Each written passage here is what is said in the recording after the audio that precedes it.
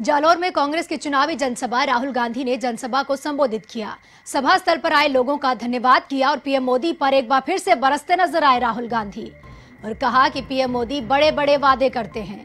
PM Modi ने पंद्रह लाख रुपए देने का झूठा वादा किया। मोदी सरकार ने पाँच सालों में केवल बड़े बड़े वादे किए हैं। पंद्रह लाख के लिए सभी ने बैंकों में खाते तक खुलवाए, लेकिन किसी को पंद्रह लाख रुपए नहीं मिल पाए।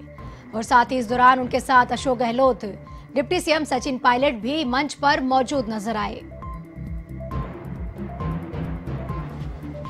जालोर में कांग्रेस की चुनावी जनसभा और यहाँ पर कांग्रेस के अध्यक्ष राहुल गांधी। जनसभा को संबोधित करते समय एक बार फिर से पीएम मोदी पर जमकर बरसे। राहुल गांधी ने जनता को संबोधित करते हुए कहा कि पीएम मोदी बड़े बड़े वादे करते हैं। पाँच साल में विकास के नाम पर कुछ नहीं किया।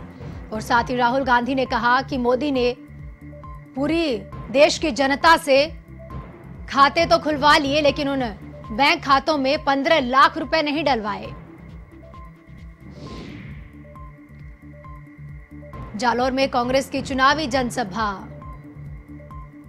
मारवाड़ की राजनीति को साधने के लिए कांग्रेस के अध्यक्ष राहुल गांधी इन दिनों मारवाड़ में जनसभाएँ कर रहे हैं और इसी के तहत जालोर में कांग्रेस की चुनावी जनसभा हुई। और कांग्रेस के अध्यक्ष राहुल गांधी एक बार फिर से जनता को संबोधित करते हुए पीएम मोदी पर जमकर बरसे। राहुल गांधी ने सभा स्थल पर आए लोगों का धन्यवाद भी दिया। और साथ ही पीएम मोदी पर राहुल बरसते हुए बोले कि पीएम ने देश की जनता से झूठे वादे किए। और साथ ही वहाँ मौजूद रहे राहुल गांधी के साथ। सीएम अशोक गहलोत ने भी जनता को संबोधित किया और कहा कि किसानों को हमने मुआवजा दिया। जालौर की जनता को पीने का पानी मिलेगा। अशोक गहलोत ने यहाँ एक बड़ी सौगात देने की बात की जालौर की जनता को।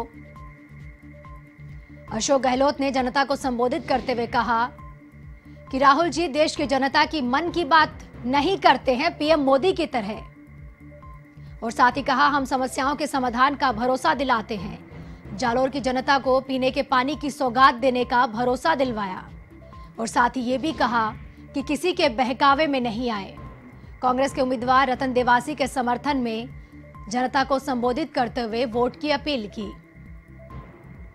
सीएम अशोक गहलोत ने सभा को संबोधित किया और साथ ही जनता की तरफ़ से कहा कि जनता ने अब कांग्रेस को जिताने का मन बना लिया है।